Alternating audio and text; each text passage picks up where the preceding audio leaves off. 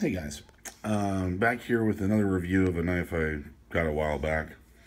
Um, and this journey for this knife started with this. This is a Fox 478 Karambit. Actually, to be more accurate, this is an $11.99 cheap Chinese copy of a Fox. 478. Now, before anybody gets pissed at me, the only reason I bought this was because I didn't own a folding Karambit before, and I didn't want to pay over a $100 for a knife that I wasn't sure I would like.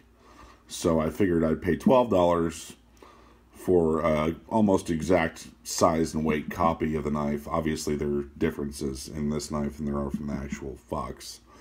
But I bought this just to see if I'd like it. And I did.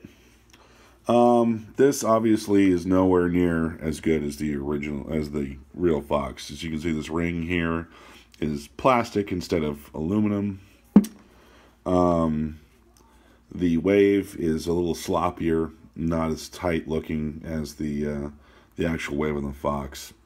But anyway, I just wanted to show this as my why I bought my fox knife that I did because I first bought this cheap Chinese piece of crap.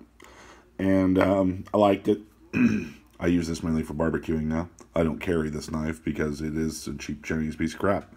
So I don't want to trust my life to it if I, God forbid, ever need to use it in a self-defense situation. And uh, so, but again, it served its purpose. It let me know that I did like the uh, the style of knife with the wave feature and all that good stuff. So, I did not want to do Fox wrong, so I did buy a real Fox, and here it is. I didn't go with the Tonto, however. I got the Dart. As you can see, and I love this knife. This knife is awesome. The wave features you can see compared to the other cheap Chinese crap is much sharper, much tighter, really digs into the pocket and opens the knife quickly. Um, those of you that don't know about the wave feature on Emerson knives or this Fox knife, basically this knife clips in your pocket, sits down thusly.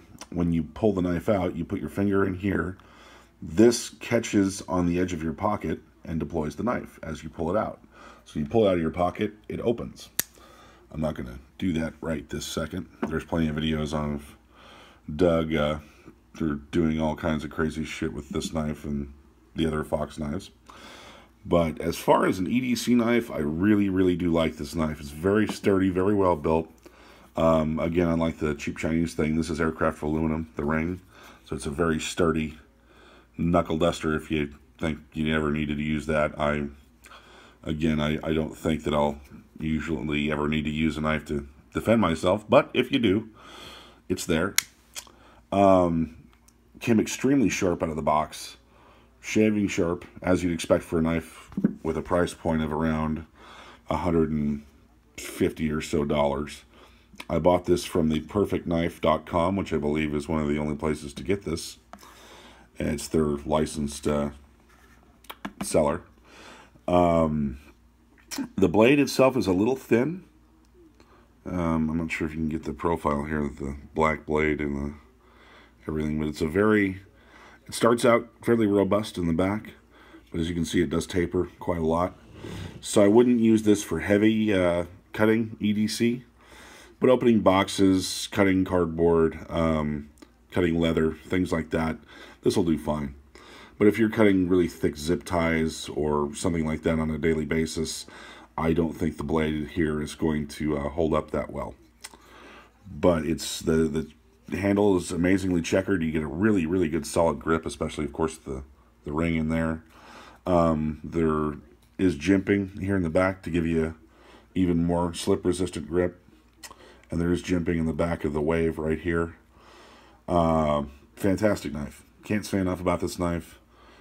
Uh, lockup is very well centered.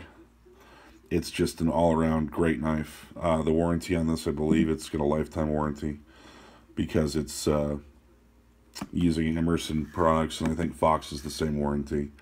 but they are out of Italy, so it may take a while to get your uh, money back if something goes wrong with this knife. But um, just an amazingly awesome knife.